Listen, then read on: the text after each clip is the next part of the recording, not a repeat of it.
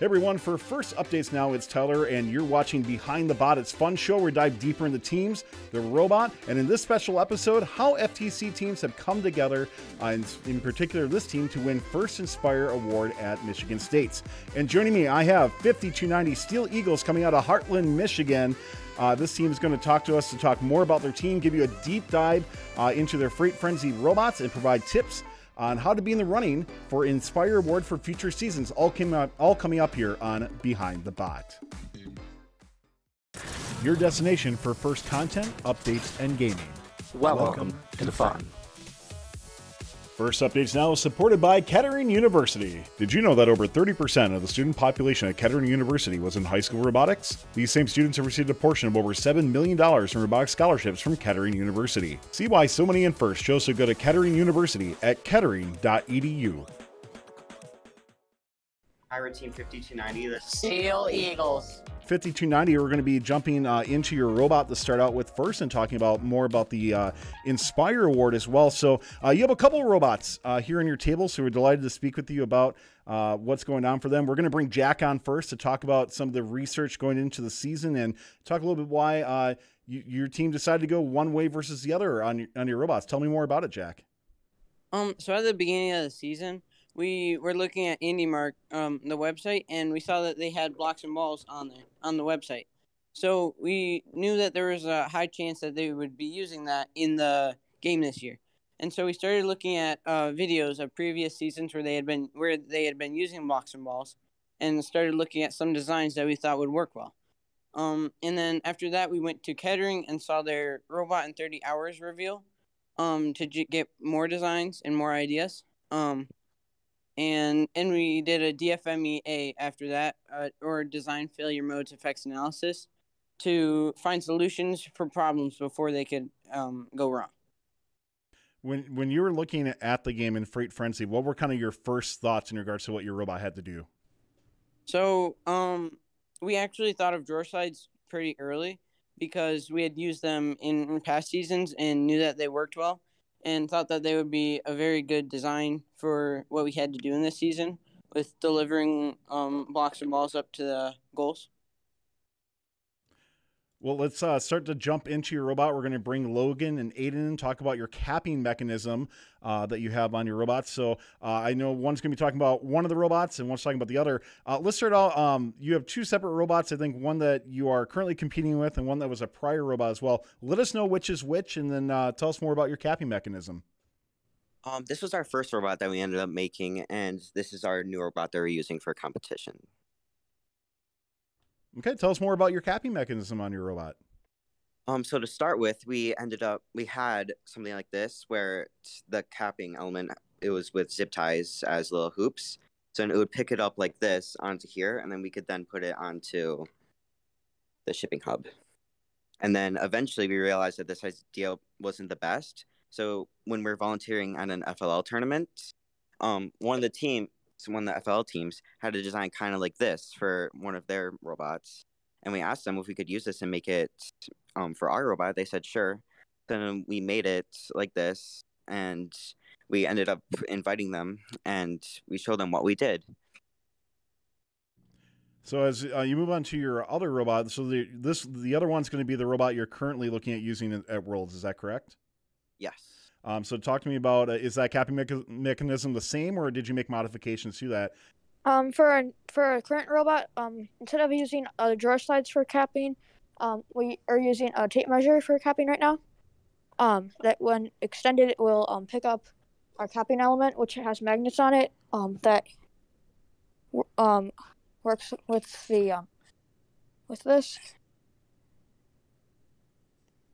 and picks it up without even any magnets on the actual the, here and this m- mounts um on the robot here and can rotate up and down and side to side.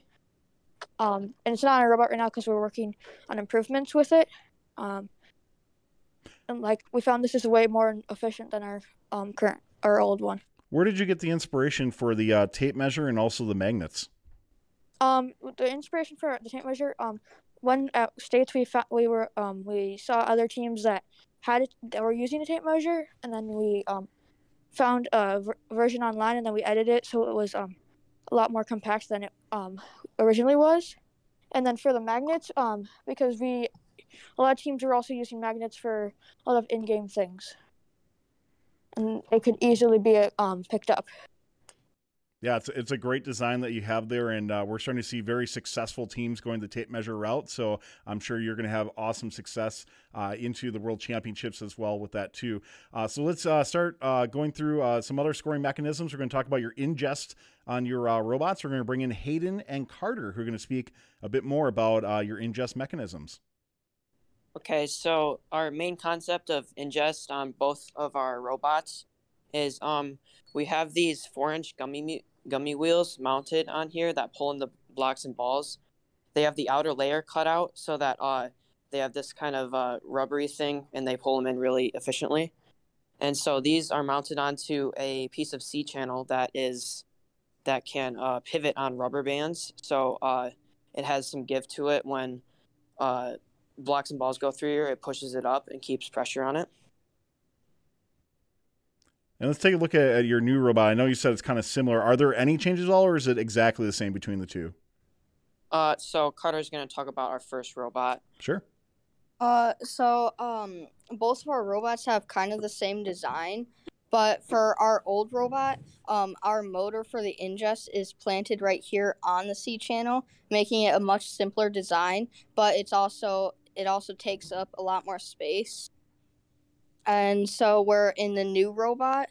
The motor is planted inside of this C channel. That way we could have this skinnier option, and it's a um, more complex design, but it takes up less space.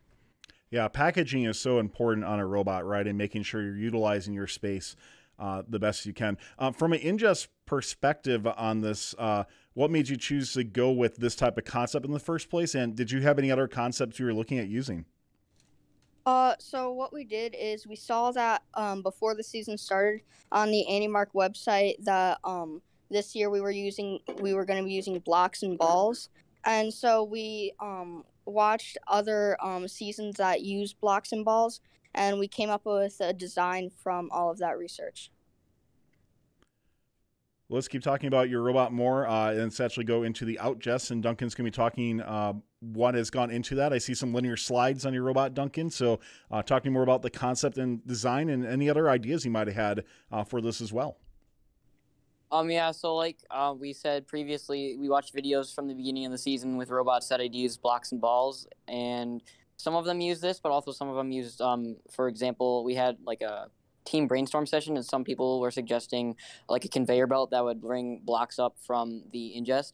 But we end uh, in end decided on Misumi drawer slides or linear slides that we had used in previous seasons, and we knew how they worked, but they did not fit our goBILDA Building system, which we switched to this year, which uses all um, M4 parts.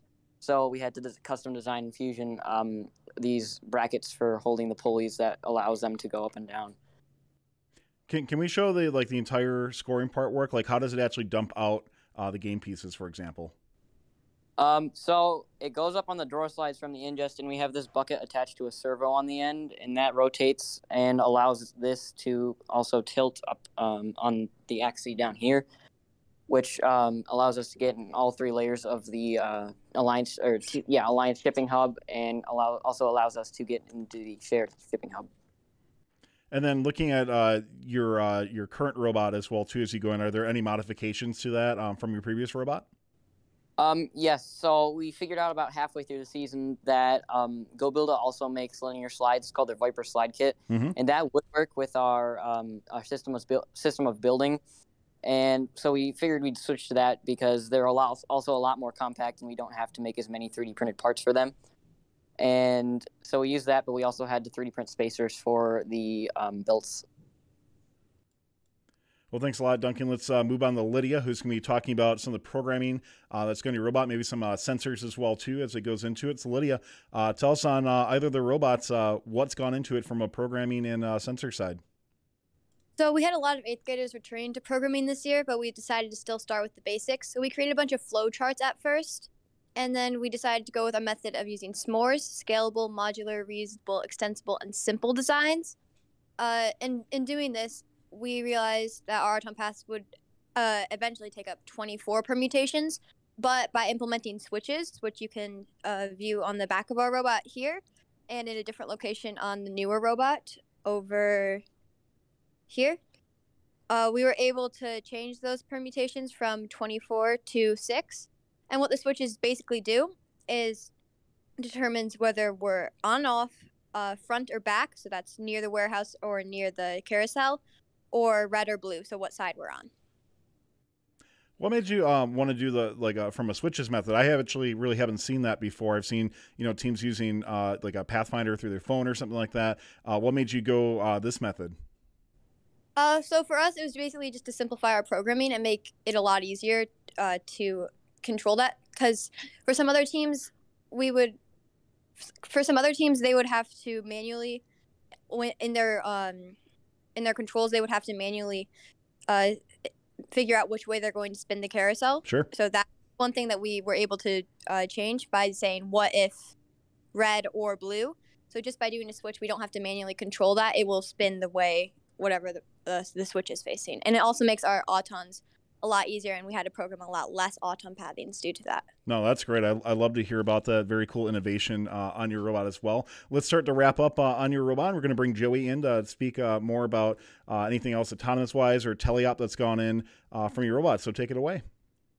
So for autonomous, we move around the field using exact positioning, and then we get closer to our spot that we want to go to using sensors like our distance sensors right here and our touch sensor in this duck here. We don't have any of those on that robot though.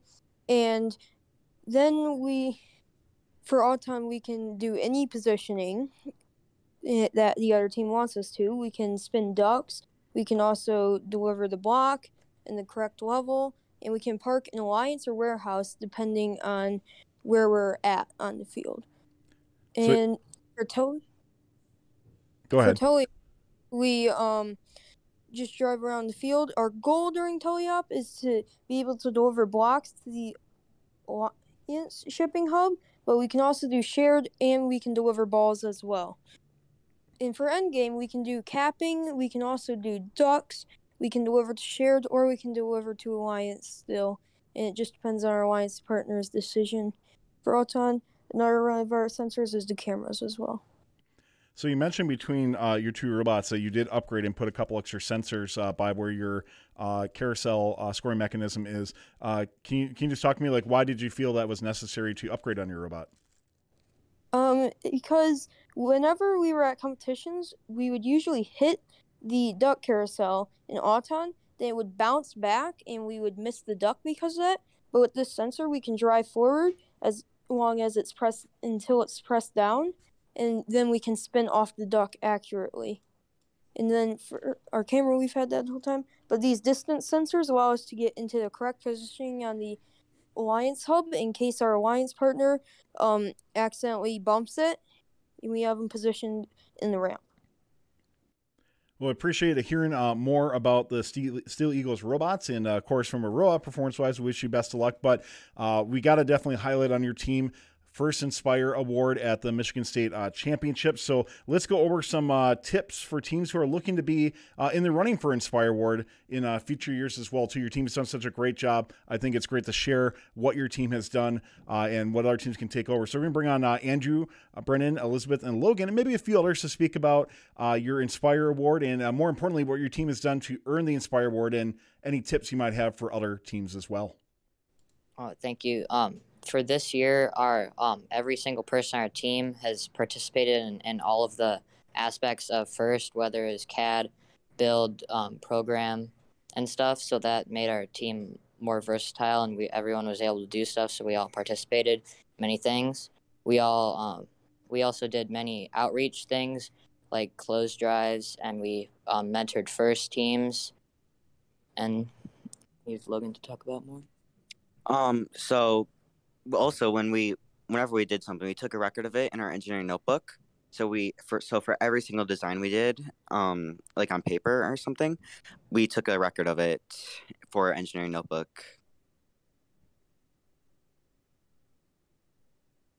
Um, something that we also thought we have gotten this inspire is that everyone in the team 3D printed a part that went on the robot. And we all did everything that we could to participate in first, even if we thought it was annoying. Another thing was when, uh, after one of our matches, a comment from the judges was that they were impressed when they caught us doing maintenance on our robot without our, um, without our, uh, what's it called? Uh, coaches giving us a direction too. Everybody also on our team has has written one line of code and participated in programming as well. That's really cool. I, lo- I love to hear that all your students have got at least involved at some aspect, even if it's not what they want to do exactly, right? It's good to have that experience getting a little bit more. Uh, so let me ask you, and anybody can take this on here. Uh, there's many teams that obviously are vying for uh, the Inspire Award uh, in future years. What is maybe some uh, advice you would give to other teams to say, hey, I really want to try to get this award. What can I do better to make my team uh, more competitive for the Inspire Award? Uh, so the Inspire Award is just basically showing your appreciation for First in general, and that you understand how much uh, cooperation and gracious professionalism mean. And you need to be able to show that within your team by having everyone participate in a bit of everything, and everyone being able to tell the judges with enthusiasm and how much they enjoy being part of the program and it has to be evident that you're having fun at the tournament and that you actually care about how well you're doing. And even if your robot doesn't score exactly how you would hope it scores, you have to be able to show, hey, it's it's more than it's more than just competition. We're trying to do our best, but we're also trying to have fun and make ourselves and make our and have a good time doing it. Uh, another thing is important is reaching out in your community and trying to show others around you how much you're thankful for their support and how much first can help the community around you. And you have to be able to show this to the judges that you put time into these outreach events and that you did a lot to try and help out. So, so let me ask you as we wrap up here: What has Steel Eagles done for the community of getting out and, and inspiring uh, STEM and spreading the word of first in your community?